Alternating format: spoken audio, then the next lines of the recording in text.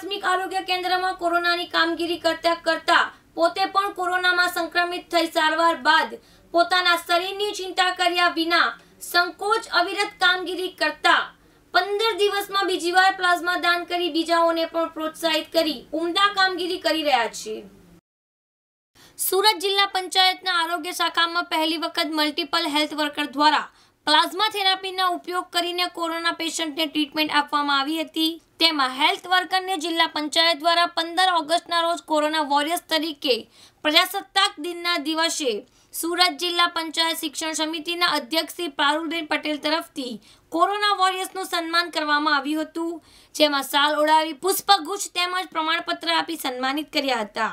આ ઉપરાંત સુરતના કડોદરા નગર ખાતે આવેલા પ્રાથમિક આરોગ્ય કેન્દ્રમાં પોતાની ફરજ બજાવતા મલ્ટીપલ પર હેલ્થ વર્કર વિપુલભાઈએ પોતાના શરીરની પ્રશિક્ષિત ડોક્ટરની ટીમ દ્વારા તેમની એન્ટીબોડી તપાસ કરાવ્યા બાદ કોરોના પેશન્ટને પ્લાઝમા થેરાપીનું સુરત જિલ્લામાં પ્રથમ વખત યોગદાન આપ્યું હતું. અને ગત રોજ પંદર દિવસમાં બીજી વખત પોતે પ્લાઝમા આપ્યા. ઉપરાંત સહકર્મચારીઓને પ્રોત્સાહિત કરી યશરાજ મહેન્દ્રભાઈ સોલંકીને પણ સાથે સુરતની સ્મીમેર હોસ્પિટલ ખાતે પહોંચી ગયા હતા અને ત્યાં હાજર તબીબ ડોક્ટર અંકિતા શાહ, યોહનભાઈ ગામિત અને ધર્મેન્દ્રભાઈ ઠક્કરે જરૂરી માર્ગદર્શન આપ્યું હતું.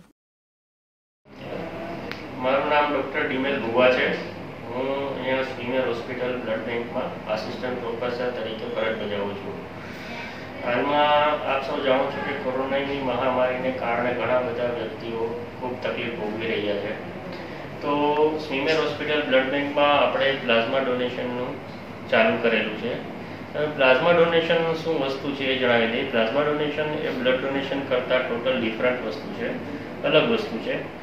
પ્લાઝમા ડોનેશન એ લોકો કરી શકે કે જેમને એક વખત કોરોના થયેલો હોય અને એમને રિકવરી આવી ગઈ હોય. એ રિકવરી આવ્યા પછી અઠ્યાવીસ દિવસ પછી એ પ્લાઝમા ડોનેશન કરી શકે. હવે આવું પ્લાઝમા જે વ્યક્તિ ડોનેટ કરશે, એ પ્લાઝમાની અંદર જે વ્યક્તિની રોગ પ્રતિકારક શક્તિ હોય છે, જેને આપણે એન્ટીબોડી કહીએ છીએ. તો આ એન્ટીબોડી છે, જે પ્લાઝમા ડોનેટ કરેલું છે, એમની અંદર એન્ટીબોડી છે. તો આ એન્ટીબોડીવાળું પ્લાઝમા હાલમાં જે કોરોનાના બીમાર દર્દીઓ હોય કે જે વેન્ટિલેટર ઉપર હોય અથવા તો બાયપેપ ઉપર હોય અથવા તો પોતાની જિંદગી સાથે લડી રહ્યા હોય, એવા લોકોને જો આ પ્લાઝમા જશે, તો એમનો જીવ બચી શકશે. તો મારી એ જ અપીલ છે કે જે લોકો કોરોના પોઝિટિવ થયેલા છે, એ લોકો રિકવરી આવ્યા પછી અઠ્યાવીસ દિવસ પછી જરૂર ને જરૂર કોઈ પણ બ્લડ બેંકનો સંપર્ક કરે કે જે જગ્યાએ પ્લાઝમા ડોનેશન થાય છે અને જેટલું તમે વધારે પ્લાઝમા ડોનેટ કરશો, એટલું આપણે વધારે હાલના કોરોનાના ગંભીર રીતે બીમાર દર્દીઓનું જાન બચાવી શકીશું. આભાર. દેશમાં હાલ કોરોનાના મહામારીને લઈને ભયનો માહોલ સર્જાયો છે, ત્યારે આઈસીએમઆરની ગાઈડલાઈન પ્રમાણે કોરોના દર્દીઓની સારવાર માટે પ્લાઝમા થેરાપી ખૂબ જ કારગર હોવાનું તબીબી નિષ્ણાંતોનું માની રહ્યા છે. ત્યારે ખરા અર્થમાં કોરોના વોરિયર્સ એવા પ્રાથમિક આરોગ્ય કેન્દ્ર સાથે સંકળાયેલા વિપુલભાઈ દ્વારા બીજી વાર પ્લાઝમા દાન કરી બીજાઓને પણ પ્રેરિત કરી એક ઉમદા દાખલો બેસાડ્યો હતો. રમેશ ખંભાતી, દિવ્યાંગ ન્યૂઝ, કડોદરા.